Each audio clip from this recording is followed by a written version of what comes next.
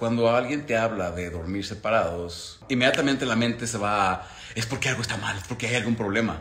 Pero lo chistoso es que para nosotros ha sido una práctica muy sana porque hoy dormimos separados. Hoy yo vine aquí a dormir al, cuarto de, de, mi hijo. ¿Por qué? Porque Nace me dijo, oye, mañana voy a poner alarma, me voy a despertar temprano. Y yo tengo el sueño súper ligero. Entonces, cuando ella me dice, voy a poner alarma temprano, yo le digo, ahí te ves, yo me voy a dormir a otra parte, ¿verdad? Y no pasa nada, al día siguiente yo voy, la saludo y estamos felices de la vida y no pasa nada. Pero para muchas personas esto es como que guarda como que un, estigma pero hay personas que les dices esto y es como, no, no, no hay manera, pero porque le, te das cuenta del significado que le dan. Creo que le damos un significado demasiado fuerte al acostarnos en la misma cama y cerrar los ojos. Porque aparte de todo, los que han, todos ustedes que han vivido con alguien saben que la idea de dormir abrazados, o sea, e, eso, son las primeras noches, ya después es como que de, ay, esté para allá, porque pues sí, o sea, es incómodo tener a alguien aquí pegado toda la noche.